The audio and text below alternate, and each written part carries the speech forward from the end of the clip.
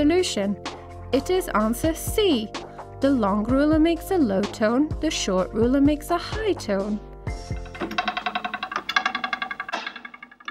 The ruler is held on the edge of the table so that only the protruding part swings.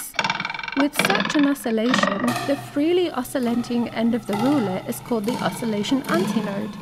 The fixed end without oscillation is called the oscillation node.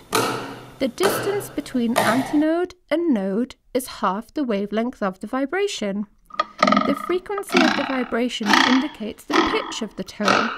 Fast oscillations result in a high oscillation frequency and thus a high tone. The product of wavelength and oscillation frequency is the speed of sound, i.e. a constant. The further the ruler protrudes over the edge of the table, the greater the wavelength and the lower the frequency. This results in a deep tone. If the ruler protrudes just above the edge of the table, the wavelength is small and the frequency is high. This is how Mrs. Santa makes music.